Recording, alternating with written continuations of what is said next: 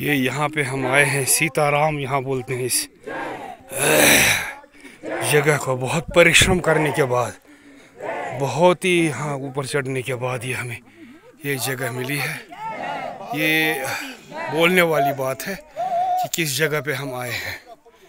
तो ये बहुत ही चार, दस, बारह किलोमीटर हम पैदल चल के इस रास्ते पे आए हुए, इस पहाड़ी के ऊपर आए हुए, जहाँ पे ये सीता राम का निवास बोलते हैं एक दफ़ा। हुआ करता था, वो आए हैं यहाँ। तो उनका यहाँ ये यात्रा है। इस यात्रा को कुपवारा वाले, बांडीपोरा वगैरह वाले सारे ये इनके लिए बहुत ही महत्व रखती थी ये यात्रा।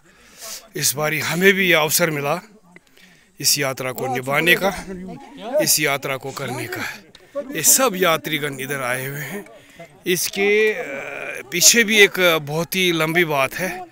कि ये वो जगह है जिसके साथ हम जुड़े हुए हैं पिछले तीन हज़ार साल से। तीन हज़ार साल इसकी हिस्ट्री है और यहाँ लोग बहुत आया करते थे। आज कल भी विजिटर आते हैं। ऐसा नहीं है कि ये छोड़ा हुआ। विजिटर लोग यहाँ आज कल भी आते हैं, लेकिन बहुत कम आते हैं। 90 के बाद बहुत कम आए हुए हैं और इस, अब इस जगह को एबंडोन किया गया था। तो इस जगह को एबंडोन करके अब हमने फिर से रिवाइव कर दिया।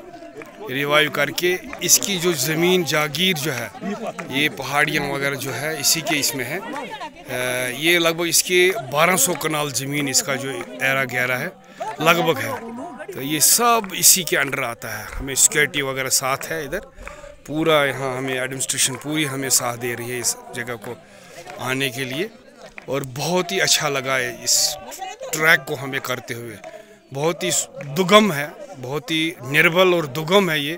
इसमें बहुत ही जो हमारे साथ बुज़ुर्ग थे, इनको बहुत ही परिश्रम करना पड़ा इधर आने में।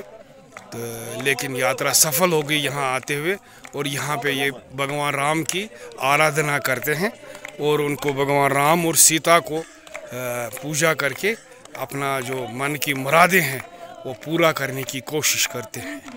थैंक यू वेरी मच बहुत बढ़िया, बहुत मज़ा आया। Thank you. God bless everybody. Ram bless everybody. Thank you very much.